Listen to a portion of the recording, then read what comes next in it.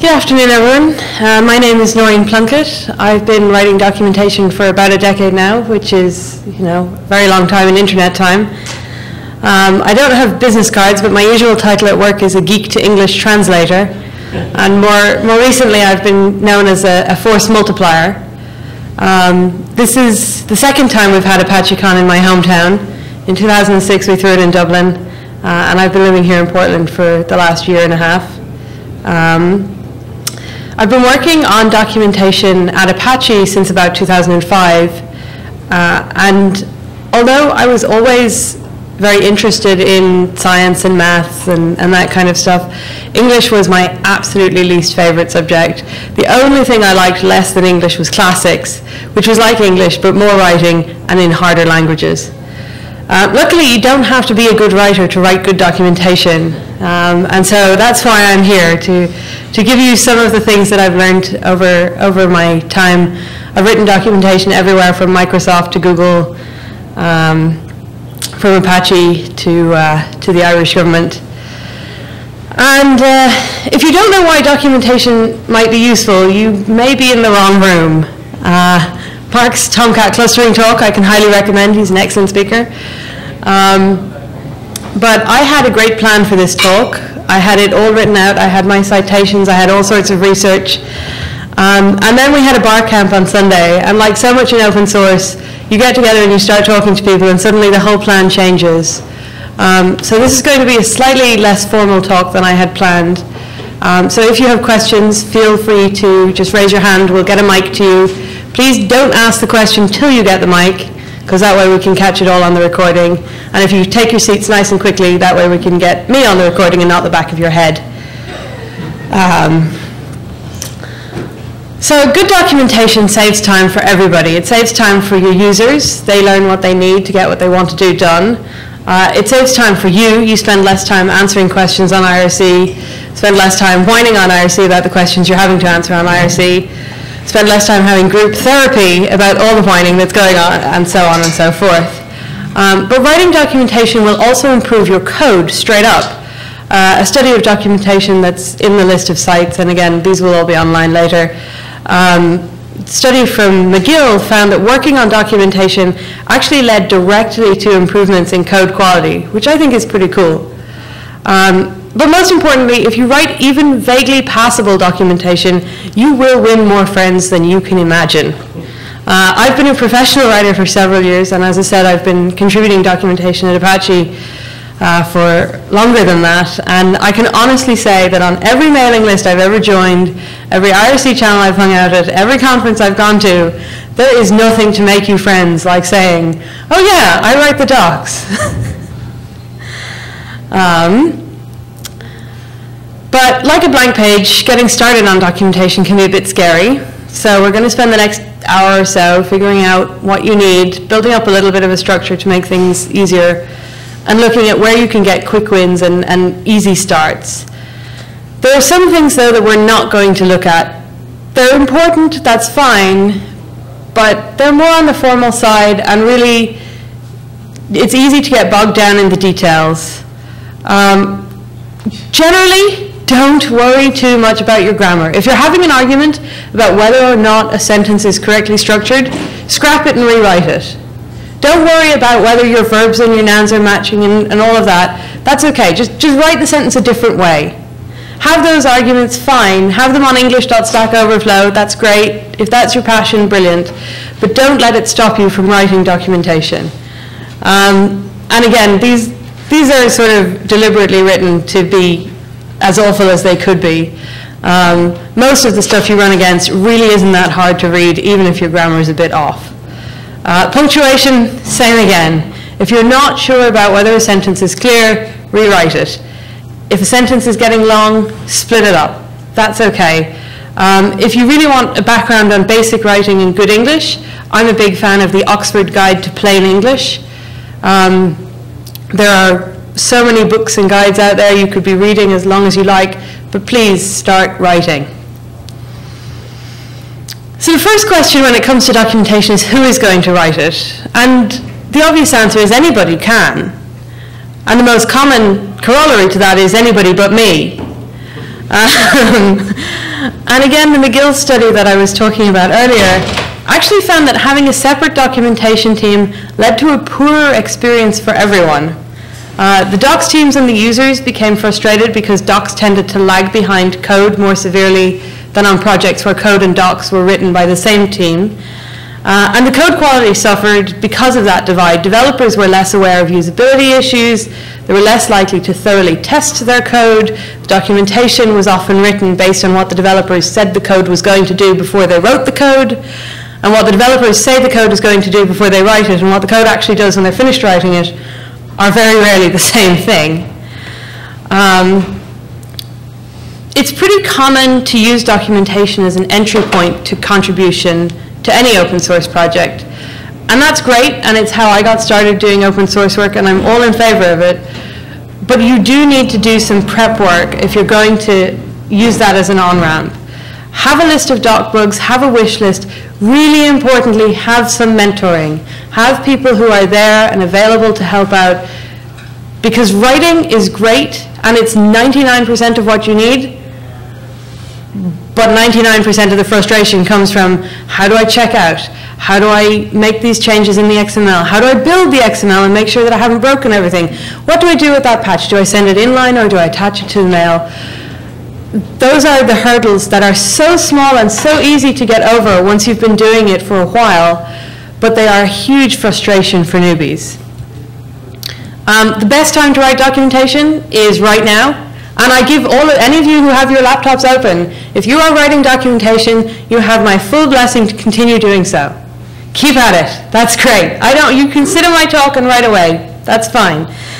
Um, the most important thing is to get the things out of your head and onto paper or electrons. Um, as long as the documentation is in your head, it's not accessible to anyone else. And that means your users can't get at it, but it also means that other people can't help you improve it. Whatever you write doesn't need to be complete or final, and in fact will never be complete or final. Happily for us, our readers have access to the source code, the mailing list, the IRC channel, whatever other resources we have. But if you write things down, people will bug you less often, and they'll have some chance to contribute back. Now I have a question for all of you. I'm Irish. I've been at this a while. Am I speaking too quickly? Great. Just checking in. So what is documentation anyway? Um, back to the formal part of the presentation that I had prepared and written up since about October. Um, writers often divide docs into three categories based on the needs that they serve. So we have conceptual documentation, task-based documentation, and reference documentation.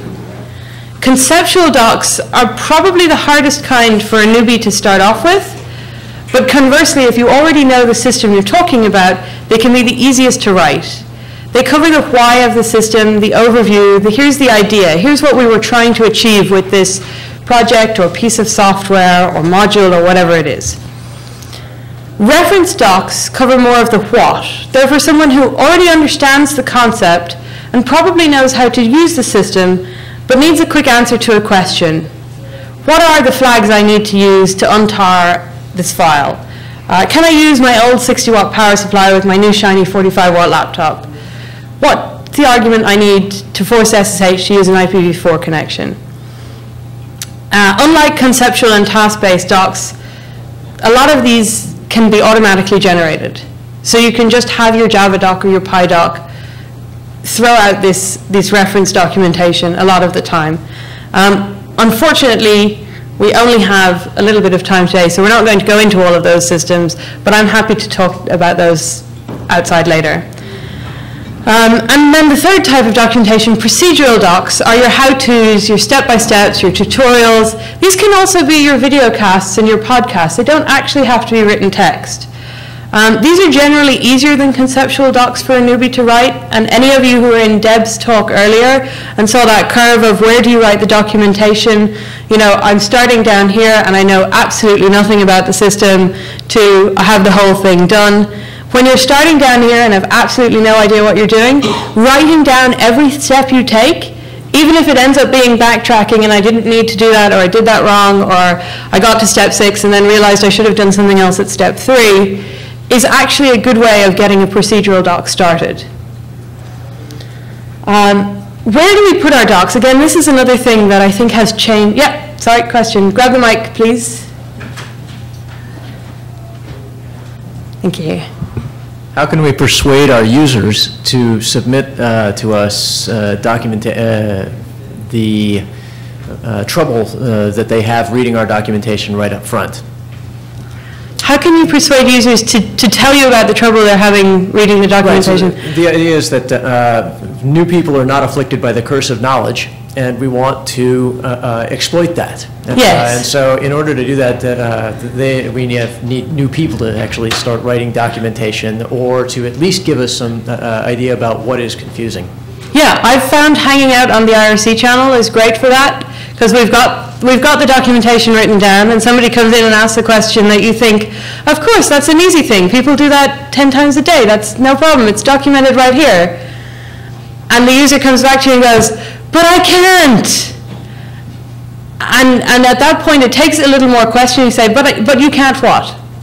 Um, I had, I used to work uh, tech support in a hospital, and at one point I had a doctor phone me up and tell me that he couldn't read his email.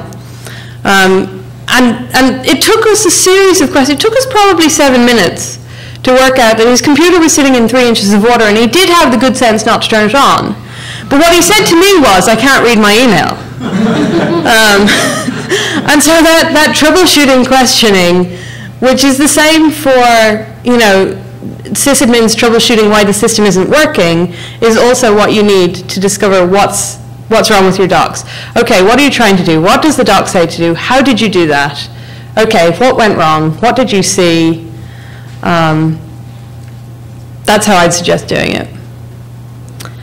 Um, so where do you put your documentation? Did you have a question? Sorry. Oh, I was like, I was thinking about that. Like, if if you have something that's a one-on-one that you have people read all the time, then putting a giant thing at the top that invites people to submit, like, Yep. I didn't get these. These need improvement. That's a great plan. If you have something that people are reading all the time, um, or particularly something that's your, you know, the first, my first, whatever, my first deployment, my first web page, putting something at the top saying, please send us your comments. Having a comment field at the bottom saying, did this work for you? Tell us what did or didn't work.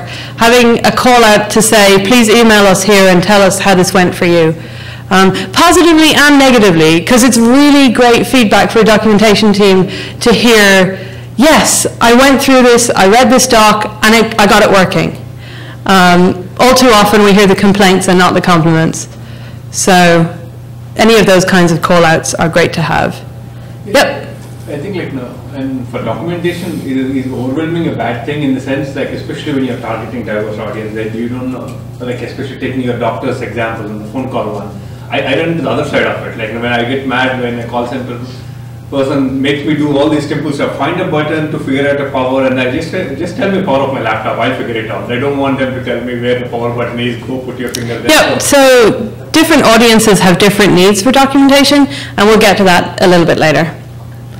Um, the where of where, of where do you put your documentation um, has changed drastically in the last, even, even in the last year. Um, when I started writing documentation, we had these silos. We had, you know, the HTTPD docs are on httpd.apache.org slash docs. If you want the PHP docs, you go to PHP's website. If you want Perl doc, it's, it's in Perl. And, and nowadays, that's no longer where we look for information. Stack Overflow. Stack Overflow is the canonical documentation for so many open source projects. Um, blogs. So much documentation is on blogs. We're no longer really browsing the web. So many of us now are searching. Uh, and that has advantages and disadvantages, but it is the reality we're living in right now.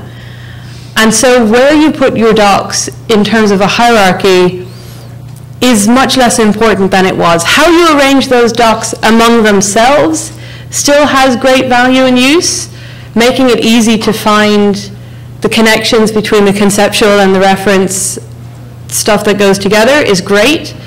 Um, but whether it's on a wiki or a static web page or wherever it is, is no longer worth spending a whole lot of time agonizing over. Oh, well. Microphone seems far away, but I'm pretty loud. I can repeat. Um, Well, I just wanted to tee off of your remark, if everyone's searching, then SEO is important. I've had a few experiences in Apache projects where relatively obvious Google queries yielded astonishingly unhelpful Google results. Yep. Uh, And that's not, that's not, that's, that's a certain black art of its own. Yeah, so the comment was that if everybody is searching, then SEO becomes important. And I think the Apache Docs team have had a change of heart in the last few years as we've realized that yes, everybody is now searching and SEO to some degree is important. Um, I would say if you're, if you're going to go for that kind of thing, please don't search for SEO. Go to something like Google's Webmaster Tools and look at what they're suggesting. Make sure you have in the metadata your canonical docs represented as canonical. Use redirects that actually send a 3.0 code rather than a 200 and just redirect you. Um, yes, that stuff is important, but somewhat outside the scope of this talk. Yep. We could mention that if you know how to make that stuff work, that's another valid contribution.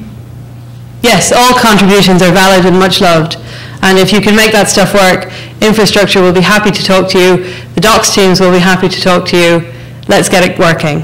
Um, the, the slight exception to it doesn't really matter where you put it is probably conceptual documentation, which tends to be most useful if it's well curated. Um, doesn't need to be updated terribly often usually. The, the concepts behind your technology tend not to shift as rapidly as, say, the specific API calls you might or might not be making. Um, and it's usually pretty easy to tell if a task-based document is out of date because you start stepping through the tasks and it fails. Um, but if, if a conceptual doc is out of date, that's harder to recognize as somebody coming in and reading it. And so that stuff needs to be reviewed by somebody who has the expertise on hopefully a relatively regular basis. Um, ideally, of course, all of your documentation would be kept in some kind of a version control, um, and ideally you would have copies of it somewhere that is not going to disappear at the whim of, you know, it fell off the front page of Hacker News. Um, but we do what we can. Um, and task documentation, again, because it's nice and easy to see when the task documentation stops working, should ideally be easy to update and ideally easy for newcomers to contribute to or to change. Um, when I can, when I come into a project, I'm, you know, I clone the Git repo, I install whatever I need to install, I realize that package no longer exists or has a new name, I find what it is I need to install and I install. It would be great if I can just very quickly say, here's a patch, pull request, send an email, whatever it is. And the other thing I would encourage anybody who is already in a project to do is accept bug reports in whatever form they come in. If somebody sends you a tweet saying, this thing on this page is wrong, don't send them off and make them go through Bugzilla because honestly, and I say this as I'm, I'm pretty confident I'm one of the younger people in this room, Bugzilla may have been fine when you were my age. We have new expectations now. um, so accept bug reports on Facebook, on Twitter, people nabbing you in the hallway. It's fine if somebody nabs you in the hallway to say to them, please send me an email or write it down. I have occasionally written bug reports on my hand um, because if you just tell me and I haven't got anything written down, it's not going to happen. But if it's written down, take it. Um, a, a, bug report really is the first contribution, and uh, it's great to encourage those people and, and get them hooked. Uh, so again, the how was, there was a lot of sort of writing theory in here involving um, different ways of getting started and so on. But get started, write it down, talk to each other. When you're talking to each other, somebody pull out your phone, because now we all have phones that can do this, and just record explaining the new module to somebody else. Just record it, and if you want to make a podcast, great. We have people who would love to talk to you about that. If you just want to type up what you've said, put it down in some kind of a slapdash doc, get started one way or the other. Um, were you with us at the doc sprint at Google? by the other the other great way of getting started is copying. Copy the stuff that's that's already out there, that's on blog posts, that's on Stack Overflow and so on. Be careful a little bit about the license, but by using this, a team of 24 of us, I think we were six, four, write, four writers and 20 engineers, managed to write four books in three days last October. Um, so, so that can be a really, really great way to get documentation done. The information is largely out there. Um, the first principle of good technical writing, once we go from getting something down to getting something good, is to make it simple. Good technical writing should be essentially invisible. Readers should be thinking about the ideas, about the technology, about the solutions, about what they're going to do with this cool new stuff, and not about your writing. Nobody is going to curl up in front of the fire with a cup of cocoa and a technical manual. Actually, that's not true. I have writers tell me this all the time. Writers are the only people who are going to curl up in front of the fire with a cup of cocoa and a technical manual. And it's very important that we have our communities to do that, and I'm fully supportive of that. But the rest of the room are, not going to do that. Um, it's not that your audience can't understand complex writing. It really isn't. We have some of the best and the brightest here. They can understand the worst things that I can write. But they shouldn't have to. The second principle is that no document is ever finished. That's okay. Creating a document in theory happens in three phases. You think about it, you write it, and you revise it. The problem is that then you revise it, and you revise it, and you revise it. Um, and don't bother trying to get to the end. Get to good enough. Don't even necessarily bother getting to good enough. Get to okay. That's fine. Somebody else can come along and somebody else will do a better job than you can by coming along later and looking at it with a fresh set of eyes. Uh, at, at my day job, and I hope I won't get in trouble for saying this, but at my day job, we discovered just before our last release that there were two sections in the documentation that had title, I mean, they had, they had a meaningful title. The, the one I remember off the top of my head was creating a user password. And uh, the content for that section was content goes here. That had been in our user manual for at least one major version and like several minor revisions within that. And nobody had spotted it because the writer had gone, right, we need a creating user password section. They had made you know, the boilerplate for it. They had gotten busy, they'd gone off and done something else. The same writer had reviewed their work, but they knew that they were going to write that. They just hadn't quite gotten. So it's okay. Leave it, put it down, let someone else to look at it. Um, so when you're getting started, um, again, we're back to sort of slightly the more formal stuff. There are some good questions you can start off with for any document. Um, I learned them as who is my audience, what is the purpose of this document, and what will my audience be able to do after reading this document. Um, when you're doing formal technical writing, you often have an identifiable audience. You have a contract to provide you know, a document for the end user who's going to be putting the batteries into the toy at Christmas, or the electrician who's going to be installing you know, the fuse box in the house, or whatever it is. Um, even within IT, you sometimes have reasonably clearly defined audiences, end users, developers, sysadmins, implementers, various permutations of that. Writing for open source, you often don't have anything that clear.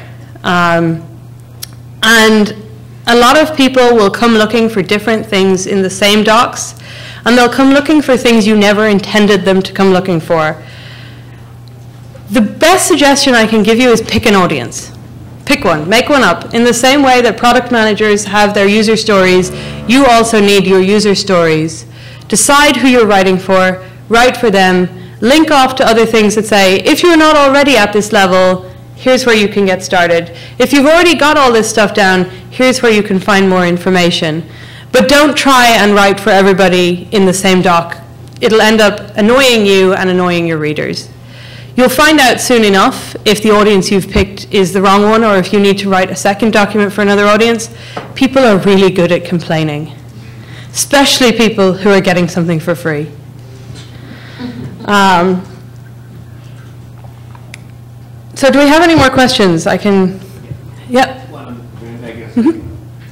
Uh, is there, are there any behavioral trends or anything like, you know, if the developers are there, they can go to wikis, but, you know, if the users want to first quickly get and get their, like, thing in a short time span, like sometimes you see three clicks, someone doesn't want to keep clicking until they find what they want. So based on the audience or anything, we need to create, tweak it like on the website or prominently, we need to give a quick introduction. Okay, so the, the question I think is, are there any best practices for where you put the document or how you allow people to navigate to the document based on the audience of the document? Um, I think I go back, I go back partly to my assertion that nobody browses anymore, people just search. I do give the caveat, though, that coming into a project new, and I still find this with the HTTPD docs, I have great trouble finding where is the developer's guide for the software and where is the developer's guide for the docs. And so if you have projects that are different, that operate differently, it's worth making that very clear.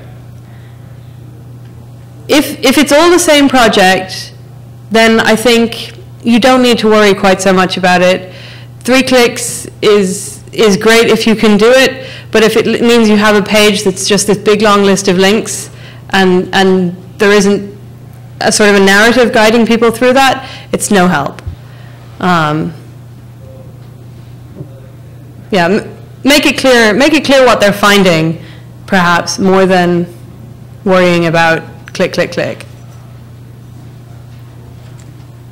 Okay, so uh, this is just an example of some of the questions we could ask for a hypothetical document. Um, I think I actually wrote this back when, uh, when we worked together, which is, which is approximately a million years ago. But um, who are you writing for? What background do they have? What background do they need? What topics do you need to cover? Um, do you need to, sorry, oops. So yeah, who are you writing for? Um, what background do they need? Do you need to teach them about the calendaring program that you're using, or do you need to teach them about scheduling resources? So, for example, at my current job, we have a vacation calendar, which in our current calendaring system is technically a room, and so you book the room for while you're on vacation. Um, do you need to teach them about local local etiquette? So, for example, people should block off certain times if they're remote working and they're going to be sleeping, say, in the evenings. I don't know. When, when you have a company that's distributed around the world, occasionally you end up with 5 a.m. meetings and it's just a matter of somebody didn't. Sometimes it's somebody knows that they're doing that and they're just really, you know, that's, that's when it's got to be because it's got to be at a bad time for someone. And sometimes it's, well, I thought you were in San Francisco. Oops. Um, is that, is, is that actually readable? Or should I call out those questions? Um, it is readable? Yes. Great.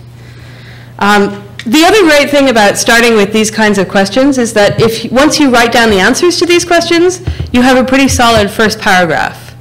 Uh, this is a trick I actually learned back in school, that you have your set piece of questions, you write down the answers to those questions, and then your essay is already started. Um, people who find your doc, if you've answered these questions, can tell pretty quickly whether it's the document they're looking for, um, whether it's suitably advanced, too advanced, um, what they need. Um, on a less formal level, before you get too far in, you need to think not only about who you're, what you're writing, but how you're writing it. Um, are you writing for an audience who are new to the topic and you need to explain terms?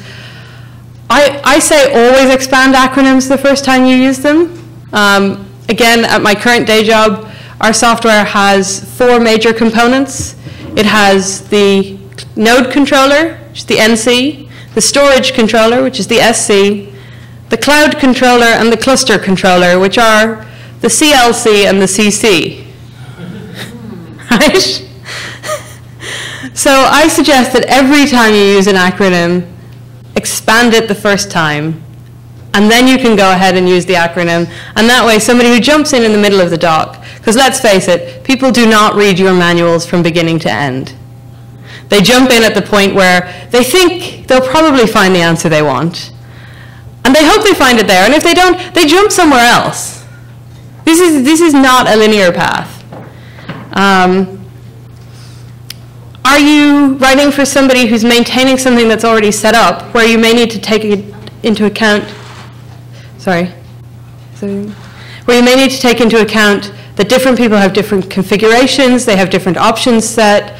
You can't simply tell them, you know, put this in as your config file because they may already have a config file that has options that, that they need. And so you have to say, well, amend your config file this way, or add these things, or edit these things. Um, are you writing for an audience who are trying to decide whether or not your tool is the right tool, or trying to decide between your tool and other tools, in which case they may need to know more about the differences, the similarities, what does your tool do that others don't, and what does your tool lack that others might have. Um, and it's always good to think, what are my audience going to be able to do when I'm finished writing this? Um, going back to the three kinds of documents, the conceptual, task, and reference, a conceptual doc is likely to have a purpose of illuminating some subject, and once the audience is finished reading, they'll be able to make a decision or see how components fit together.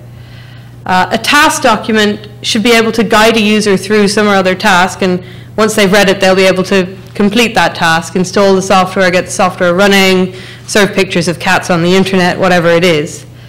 Um, and a reference doc is obviously to be referred to, hopefully once the audience has finished reading, they will be able to do whatever they were trying to do before they got sidetracked by having to look up the uh, command line options for your tool. Um, if you're writing in a team, it's worth looking at some more sort of project management-y stuff. What's my deadline? Um, do I have a deadline for a first draft or for reviews? In particular, who's going to do those reviews and what's their deadline? Um, what's going to hold up the documentation? Where am I going to get the information I need to write the doc? Um, what's it going to look like? Is it going to be an HTML page? Is it going to be a PDF? Are we going to print out a book? Um, what's the rough list of contents? honestly, I credit the, the fact that we were able to write four books in three days to the fact that we spent the first half day working on a table of contents for each of those books.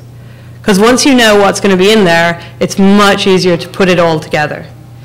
Um, what is the document not going to contain? So topics for another revision, topics for another document, um, topics for a different audience.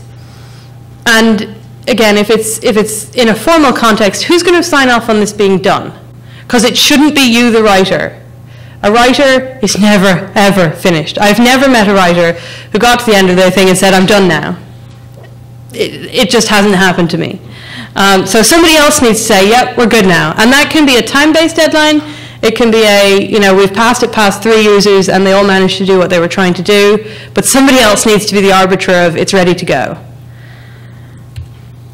Um, structure, again, coming back to that idea of the table of contents. A good document isn't just random globs of information thrown together. Uh, ideally, in the preparation stage, you've thought a little bit about where it fits in with other things that already exist or are on the plan to be written. Um, and by the time you've finished a first draft, you should have answers to questions like, what are the major themes it covers? What are the major sections within the doc? How do those relate to each other? Um, what is the logical progression of my document? It, it, again, people jump in and out of documentation, but there should nonetheless be a sense that if they were to read it from beginning to end, they would have all the information that they needed. They're not going to do that. But if you write it that way, their jumping in and out is much more likely to be successful. Um, and you don't, you, you, won't have all of these things before you start writing. But again, by the time you get to the end of a first draft, you, you should spend some time working on them. Um, here's a sort of a sample table of contents. Let me just make sure it all comes up. There we go. Um, that uh, works for actually a surprising number of documents. So you start with what is, what is this document? It's the answers to the questions we, we looked at earlier. Um, an overview of whatever the system is we're dealing with. When you'll need this, that can also include what you've already done to get to this point. And if there are other things that are further down the line, you don't need this document, you, you need to go on to the next one. Um, then we have our steps, which can be as simple as a bullet list, or can be chapters and chapters in and of themselves. Um, examples and sample code. Examples are great. People love examples. People love copying and pasting. It's their favorite thing ever. um, troubleshooting. What, what can you expect to go wrong? What are the things that commonly trip people up? Um, if you can if you can put those caveats in your doc and say, ah, you came you came across this error, that's because you've not enough space in your file system. Clear out some space, or whatever it is.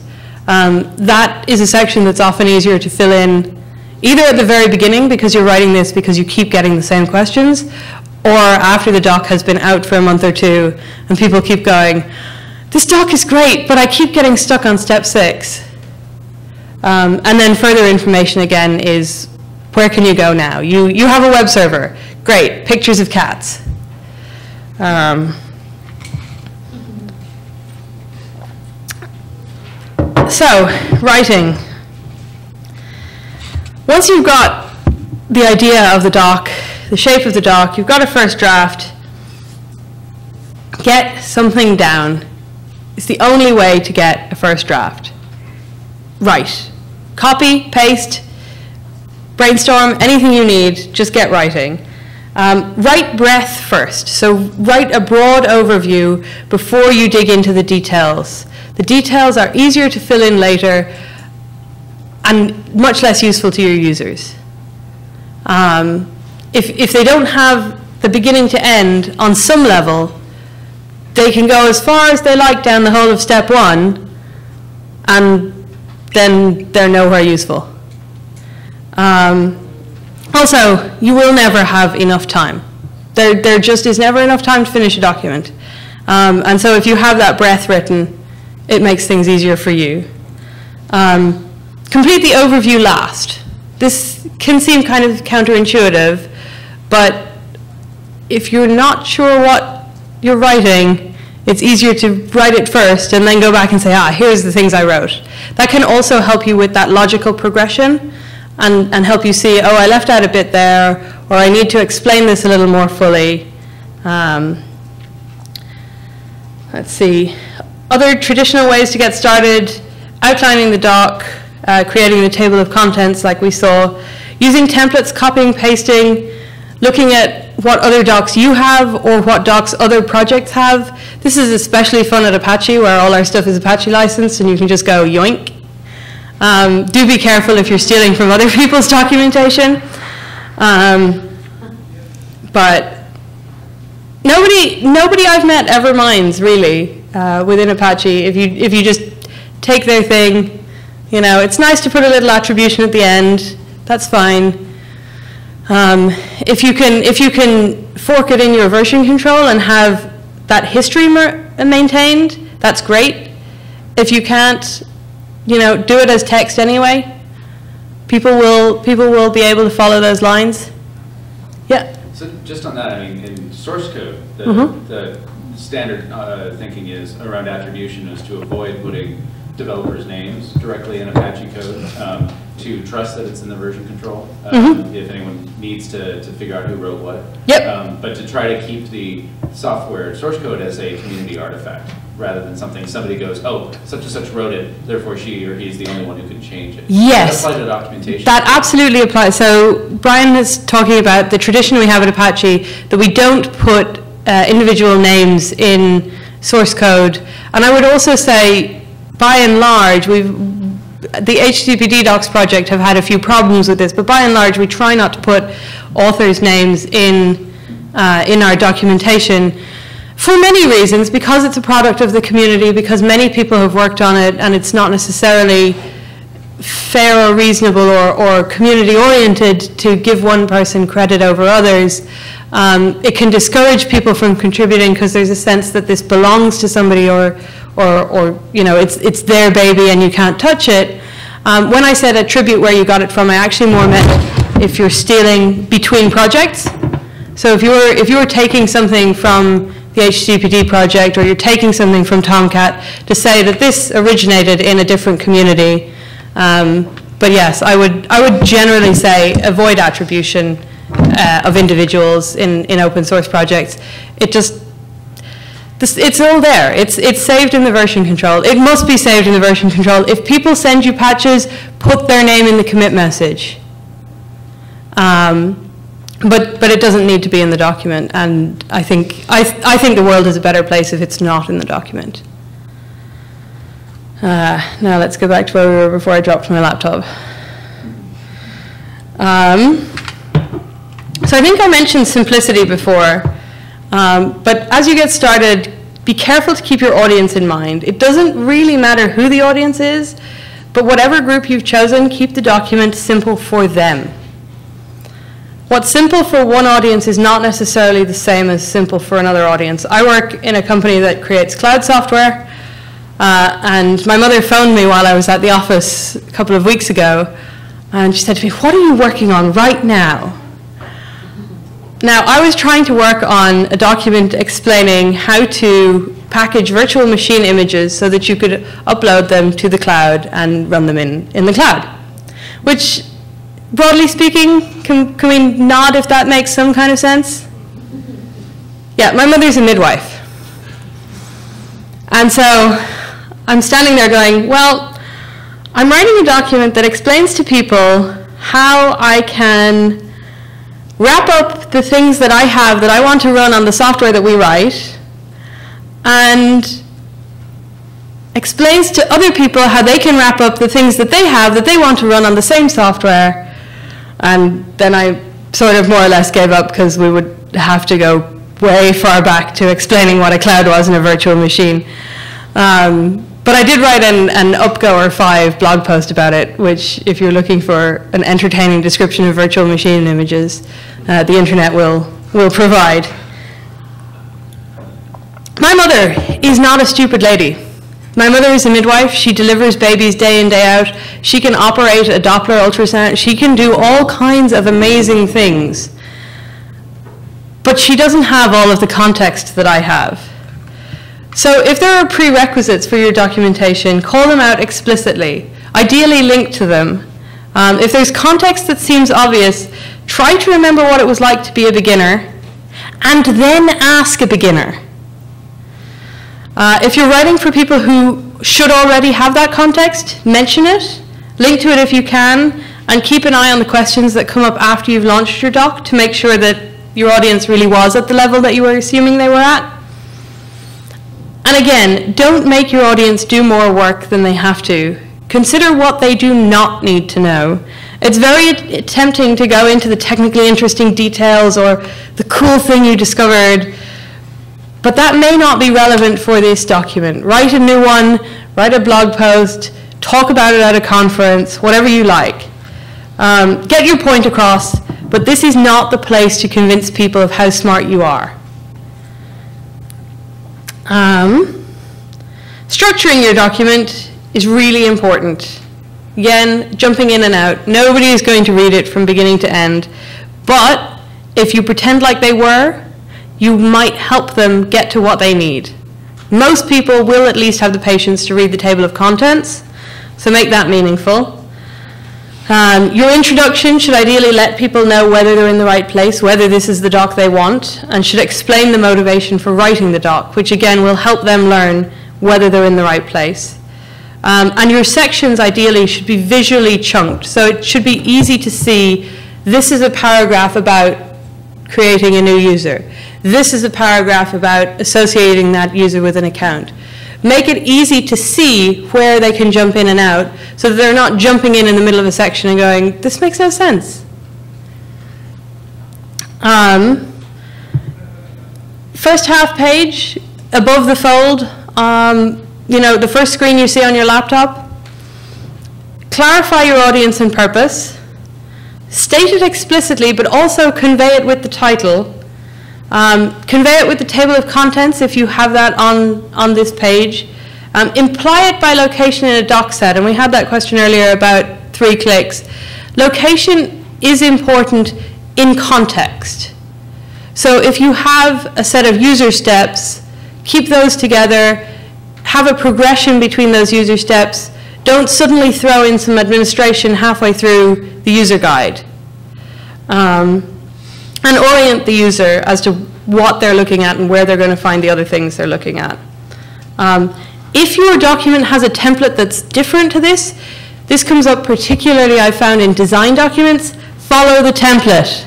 Don't mess with your user's expectations.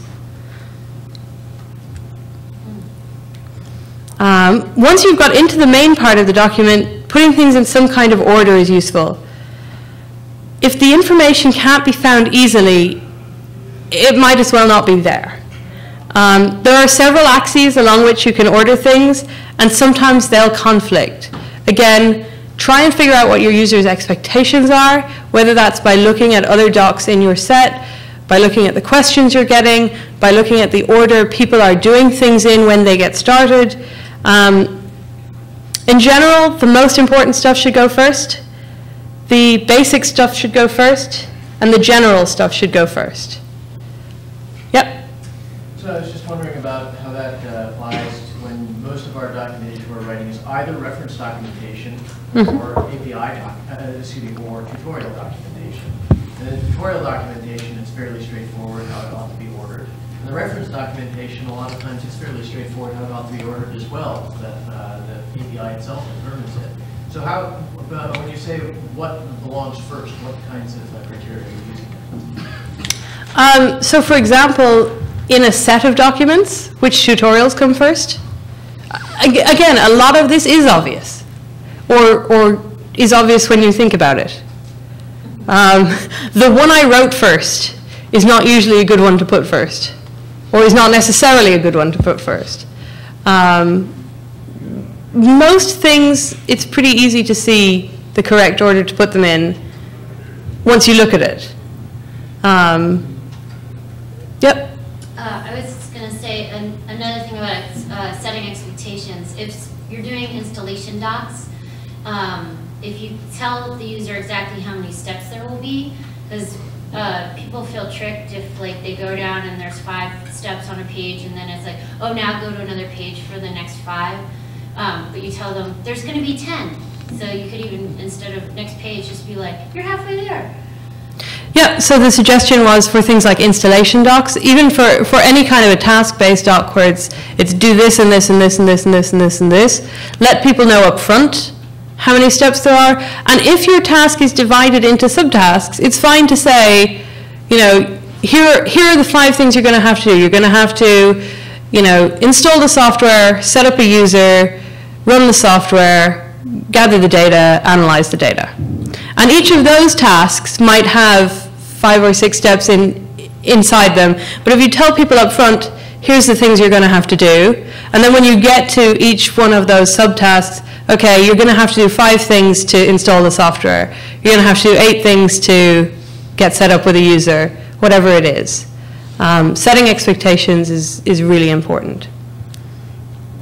As you're putting things in order, and particularly if you're looking at a general to specific or basic to advanced order, remember that level of detail implies importance.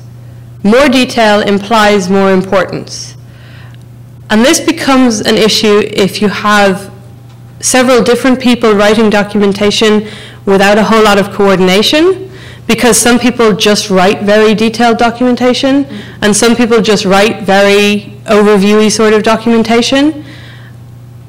And you can end up with something that's really fairly trivial or unimportant, looking like this is the really, you have to understand this thing in order to get this system, when actually it's just that that was written by that guy and that's just the way he writes.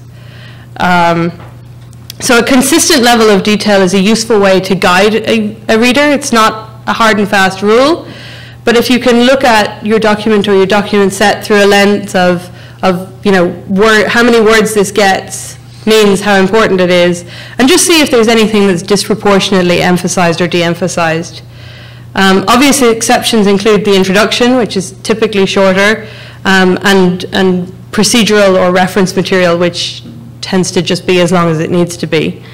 Um, what you do about problems with the level of detail or, or, or disparities in the level of detail can vary.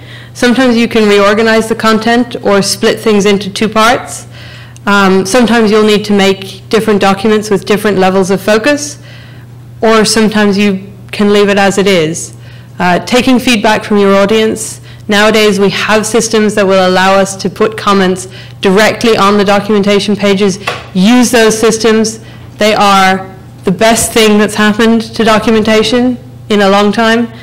Um, and make your documentation readable. I got something from our marketing department last week, and I didn't actually realize that the Flesch Kincaid grade level system of scoring documentation, which allows us to, to see you know, how, how hard it is to read a piece of documentation, I had assumed that it went up to 12. This was a Flesch Kincaid reading level of 18. I could read it. I have a master's degree. but really, we shouldn't put our users through that.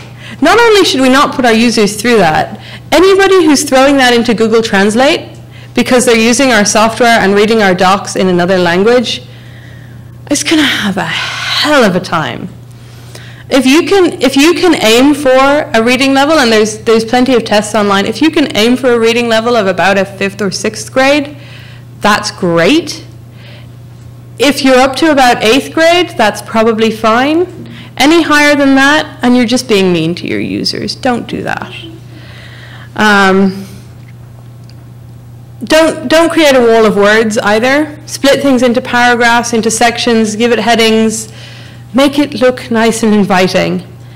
Um, and if you've gotten this far, get input from other people. Get other people to look at it and read it. What makes sense to you and sentence constructions that look fine to you are not always as easy for, for somebody who's not inside your brain. Um, and yeah, visual cues. So format your document so that the key pieces stand out. Use headings, even for short docs, use headings. Um, use fonts sparingly, but for emphasis and focus, um, it's often useful to have italics, bold, and monospace fonts that have a meaning. So for example, variables may be italic, words that are defined elsewhere in your glossary are bold, and, and config options that we're going to let you copy and paste and should be safe might be monospace. Um, use examples, use pictures for overview if that's helpful. Um, add links for related material and for hiding detail. If you have too much detail in a particular section, link to it somewhere else. Um, if you have parallel ideas, use lists, bullet them out into a list rather than having this one long sentence with loads of semicolons. Um, tables are also great for that. In a vertical list, readers tend to remember about 80% of the material presented versus less than 40% in a paragraph list. Um, numbers versus bullets. If you have to do it in order, use numbers, otherwise use bullets. People can get hung up on numbers when they don't need to be. If, if it doesn't matter, it's not an ordered list, it's just we have these features, just put bullets. Um, and if you're going to refer to items, it might be okay to use numbers for unordered lists, but really if you're getting above five or six items, you're doing something wrong. Find a way to reorganize it. Um, we have five minutes left, so are there any other questions? Yep.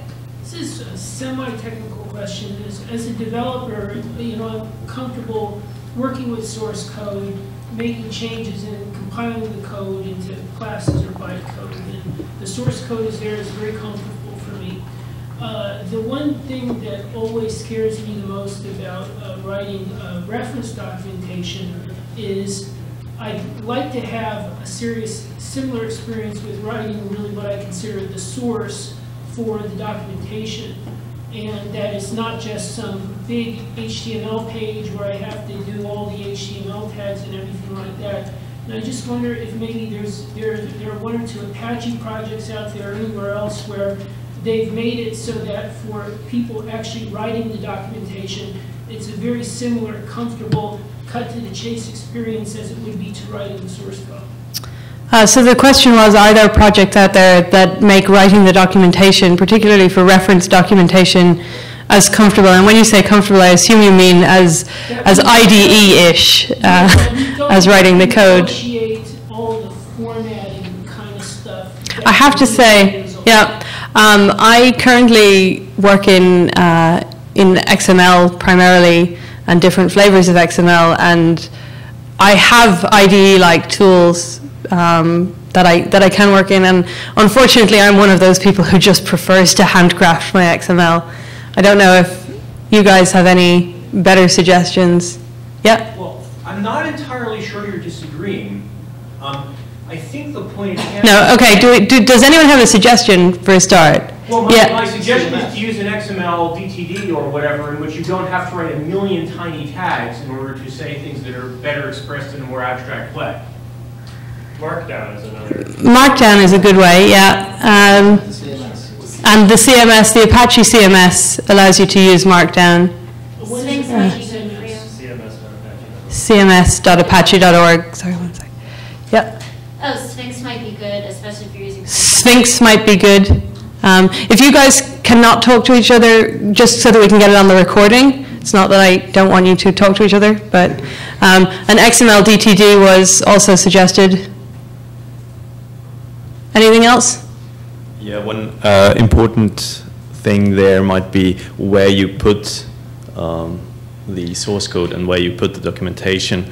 Um, what I've found from uh, HTTPD versus traffic server, in HTTPD we have the um, documentation in the source tree versus ATS where we don't. And I think, I'm pretty sure it's really better to have it in the tree. Yeah, I think there's broad agreement with that. Okay, any last 60 second question? I will be around all weekend, all week. Uh, I'm pretty easy to spot, so feel free to come and talk to me later. Thank you.